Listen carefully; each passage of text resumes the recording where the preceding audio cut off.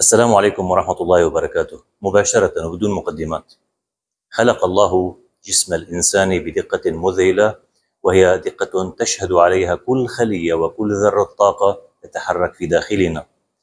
جسمك يعمل وفق نظام يحول الطعام إلى حياة وحركة وتجدد دائم. هو نظام الأيض أو الاستقلاب لكن حين تهمل القواعد التي وضعها الله سبحانه وتعالى في كون الغذاء توازنا لا إسرافا. ينهار النظام ويتباطأ الحرق وتتراكم الدهون وتظهر مقاومة الأنسولين. قوله تعالى وكلوا واشربوا ولا تسرفوا آية واحدة تختصر أحدث ما توصل إليه العلم في التحكم بالطاقة ومنع السمنة والأمراض الأيضية والاستقلابية. عندما تعود للانضباط في طعامك وشرابك تعود عجلة الأيض للدوران من جديد لحرق دهون البطن بسرعة والتخلص من مقاومة الأنسولين وإيقافها. الخطوة الأولى تنظيم مواعيد الطعام. فالإكثار من الوجبات المتناثرة حتى لو كانت صغيرة على مدار اليوم يبقي الأنسولين مرتفعا دائما فيتعطل حرق الدهون كليا. عندما تجعل للطعام أوقاتا محددة فإنك تمنح الجسم فرصة للعودة إلى الوضع الطبيعي فينخفض الأنسولين بين الوجبات ويستمر الحرق خلال ساعات طويلة دون جهد. ثلاث وجبات منظمة يوميا تكفي كبداية مع مرور الوقت يمكن التحول إلى وجبتين مع وجبة صغيرة اختيارية. هذا النظام لا يهتم بالسعرات بقدر ما يهتم بإشارات الهرمونات. عند تنظيم الطعام ستلاحظ جوع أقل تركيز أعلى بطن أخف وانخفاض الانتفاخ. طبعا كالعادة سأجيب على معظم استفساراتكم وتعليقاتكم من خلال تعديل التعليق المثبت أكثر من مرة. الخطوة الثانية الأكل عند الجوع الحقيقي فقط. ويجب أن تعرف أن ليس كل إحساس بالرغبة في الطعام يعني جوعا. هناك جوع عصبي أو نفسي وجوع من العادة وجوع بسبب هبوط السكر المؤقت. الجوع الحقيقي تشعر به تدريجيا ويصاحبه خفة في الرأس وإحساس طبيعي بالاحتياج للطاقة. أما الجوع الوهمي فيكون مفاجئا ومصحوبا بشهوة للحلويات. الجسد ذكي إذا أعطيته فرصة سيستخدم مخزون الدهون لتلبية احتياجاته دون أن يصرخ طلبا للسكر. هذه الخطوة تساعد في خفض الأنسولين خلال اليوم وتمهد الحرق كي يبدأ من جديد. الخطوة الثالثة تقليل الكربوهيدرات والنشويات وزيادة البروتين والدهون الصحية. الكربوهيدرات والنشويات السريعة مثل الخبز الأبيض والمعكرونة والحلويات تغرق الدم بالسكر فيرتفع الأنسولين بقوة وبمجرد أن ينخفض يعود الشعور بالجوع سريعا. في المقابل.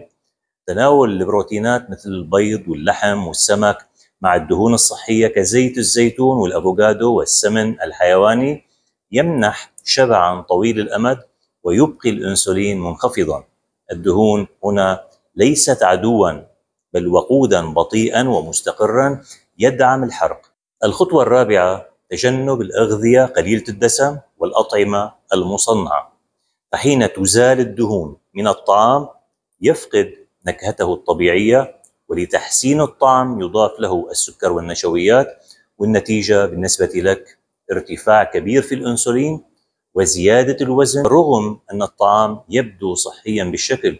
المنتجات قليلة الدسم تخدع الدماغ والجسم معا فهي تشبع لثواني ثم تعيد الجوع بقوة. أما الأطعمة كاملة الدسم كما خلقت مثل الألبان كاملة الدسم واللحوم غير المعالجة فهي تعمل بتناغم مع نظام الطاقة في الجسم. الخيار الصحيح ليس قليل الدسم بل الطبيعي غير المصنع. الخطوة الخامسة تناول الخضروات وخاصة الأوراق الخضراء والإكثار منها. فالخضروات مصدر غني بالألياف والمعادن التي تحتاجها بكتيريا الأمعاء النافعة لتنمو وتتكاثر. هذه البكتيريا تشارك مباشرة في التحكم بالشهية والحرق وإنتاج الفيتامينات. كذلك تساعد الخضروات على تنظيف الكبد من الدهون الزائدة وهذا يحسن حساسية الأنسولين ويعيد النشاط. يفضل أن يكون نصف وجبتك خضارا خاصة السبانخ والخس الجرجير البروكلي الكرنب. الألياف تبطئ امتصاص السكر وتمنع الارتفاعات المفاجئة التي ترهق البنكرياس. الخطوة السادسة الصيام المتقطع إعادة التوازن للجسم عندما تتوقف عن الأكل لعدة ساعات. ينخفض الأنسولين ويبدأ جسمك استخدام دهونه كمصدر للطاقة. هذا التحول من الاعتماد على السكر إلى حرق الدهون هو جوهر إصلاح الأيض والاستقلاب. الصيام المتقطع لا يعني حرمانا بل ترتيبا وتنظيما. 16 ساعة. من الصيام و8 ساعات ساعات أكل خلال أسابيع. سيقل الجوع الليلي وتخف الرغبة بالسكريات ويبدأ الوزن بالنزول دون معاناة. الخطوة السابعة النوم الكافي وضبط التوتر. عندما تسهر وتقلل النوم يرتفع الكورتيزول فيجبر الكبد على إطلاق السكر للدم حتى مع عدم تناول الطعام. وهذا الأمر يجعل الأنسولين في حالة ارتفاع مستمر فتتوقف عمليات الحرق. ومن جهة أخرى التوتر المزمن يجعل الدماغ يبحث عن السكر كمهدئ سريع فتزداد الشهية وتضعف السيطرة.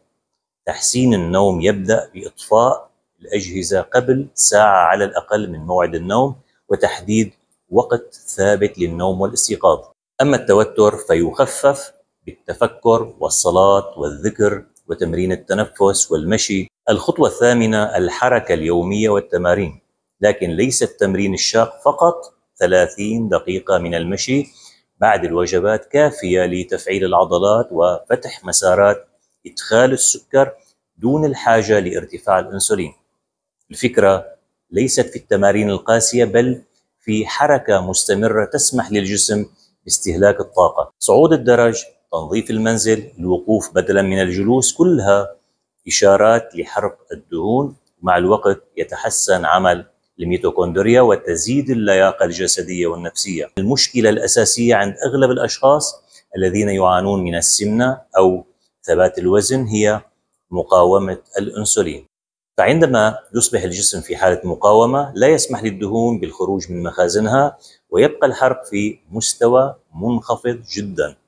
مهما التزم الإنسان بالحمية فيشعر بالإحباط بسبب ثبات الوزن. ولا ننسى دور الماء والمعادن الأساسية مثل المغنيسيوم والبوتاسيوم في تنشيط الحرق وتحسين تواصل الأنسولين مع الخلايا. إن الله تعالى أكرمنا بعقول نفكر بها في أنفسنا وفي عظمة الخالق وما أبدعه من خلق. يقول سبحانه وتعالى وفي أنفسكم أفلا تبصرون والرسول محمد صلى الله عليه وعلى آله وصحبه وسلم قال صوموا تصحوا. حديث يجمع الإعجاز الروحي والعلمي في جملة واحدة فلنبدأ بإصلاح نمط حياتنا لنحيا كما أراد الله لنا أقوياء مفعمين بالطاقة وشاكرين للنعمة حقا. أرجو أن أكون قد وفقت في تقديم الفائدة لكم جميعا وأرجو من كل من يحبني ويتابعني أن يدعو لروح أمي الحبيبة الغالية أم نوار بالرحمة والمغفرة ولأبي الحبيب الغالي أبو نوار الدكتور محمود علي بالصحة والعمر المديد. شكرا لفريق الإعداد في قناتي وأخص بالشكر زوجتي الفاضلة الدكتورة أكابر خضور علي استشارية بالأمراض الباطنة والغدد والسكري والتي نعمل سويا كأطباء في صناعة محتوى قناتي معتمدين على دراستنا وبحثنا المستمر. اكتبوا بالتعليقات الاسم وفي أي بلد تقيمون دعموا قناتي بالمشاهدات واللايك والتعليقات وشاركوا الفيديو لتعم الفائدة والخير. عائلتي الجميلة عائلة الدكتور نوار علي بحفظ الله ورعايته.